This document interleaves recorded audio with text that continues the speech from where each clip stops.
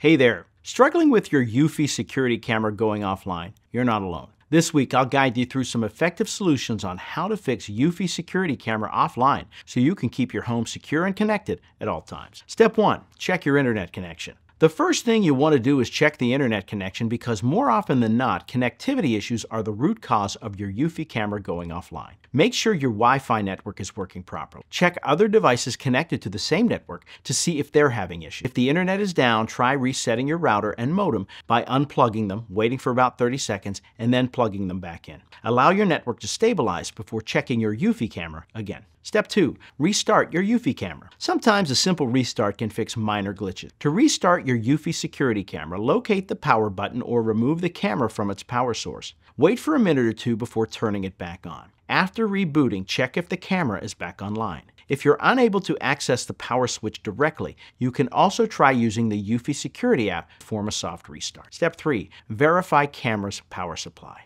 It's essential to make sure your camera is receiving proper power. For wired cameras, check all power connections and ensure that the cable is not damaged. For battery operated cameras, inspect the battery level using the Eufy app. If the battery is low, recharge it. A consistent and reliable power source is critical for your camera to function properly and stay online. Step 4. Reconnect your camera to the app. If restarting your camera and checking the power supply doesn't help, try reconnecting the camera to the Eufy security app. Open the app and remove the camera by navigating to the device settings and selecting the Remove option. Then, add the camera back by following the initial setup instructions. Ensure that your phone is connected to the same Wi-Fi network as your Eufy camera during this process. Step 5. Update firmware and software. Outdated firmware or app software can sometimes cause connectivity issues. Check if there are any pending updates for your Eufy camera firmware or the Eufy security app. Keeping your software up to date ensures that your devices have the latest features and security enhancements. Go to the camera settings in the app and look for update options